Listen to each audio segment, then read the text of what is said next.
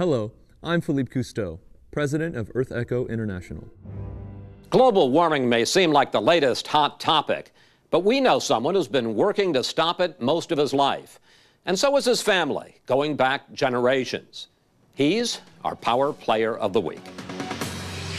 Climate change is affecting people in their everyday lives, and things, I think Katrina especially, was a, was a big wake-up call for people. Philippe Cousteau is riding a wave. Six years ago, he set up a nonprofit environmental organization called EarthEcho International, along with his sister Alexandra. These days, with Al Gore's movie on global warming and the cover of the latest Newsweek, environmental issues are suddenly hot. Now that you've got people's attention, what's the challenge? Our message is not that you can make a difference, but that everything you do makes a difference. We'll get back to that day, in a moment. But yes, if you're wondering, Philippe is the grandson of the legendary explorer Jacques Cousteau, who introduced most of us to the undersea world. His father, Philippe Sr., made films pushing conservation of what he called this water planet. Now, a new generation of Cousteaus say they're trying to make the environment fun, cool, and sexy. How are you making the environment sexy? One of the things that we're incorporating into some of the some of the media that we're doing is is extreme sports. Everything from windsurfing to rock climbing to, to skydiving to get to a remote location. Most people don't realize that most of the food that we eat travels the average piece of food 1,200 miles to get to your table. So imagine all the resources that are consumed with that food. If that sounds hard to manage, he says there are the cleaning products we use. People use chlorine bleach for all sorts of different reasons in their dishwashers and in their, in their sinks. And chlorine bleach goes into the environment and, well, just like it does in your sink, it kills everything.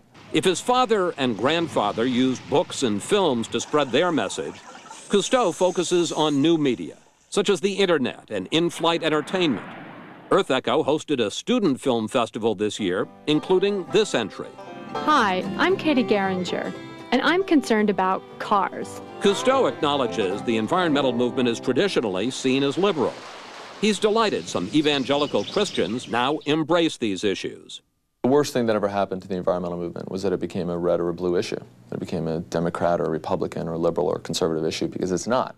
Um, clean air and clean water affect liberals and Republic, you know, Republicans alike. This third generation of Cousteaus says it feels a special mission to carry on the family's life work. We just always had an awareness that was heightened about our relationship and our responsibility to be better stewards and be good stewards of the environment and of each other.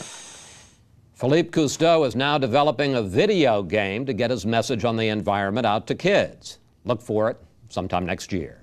As parents, what can we do to model good environmental stewardship and also teach it to our children?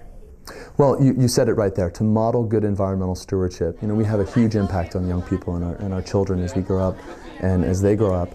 And, and we can provide a, a real uh, meaningful role model for our young people. As you leave here tonight, if the images you witnessed of the incredible wonder and majesty of our water planet have touched you, remember that great adventure is within us all, and that we all have the power to be explorers.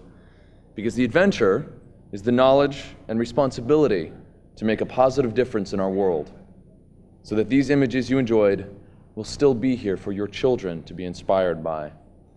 And I'll leave you with the words of my grandfather, who said, We can find happiness in protecting the world around us not only because we cherish it for its awesome beauty, power, and mystery, but because we cherish our fellow human beings, those who live today and those who will live tomorrow living beings who, like ourselves, will increasingly depend on the environment for happiness and even for life itself. Thank you, and see you at the party.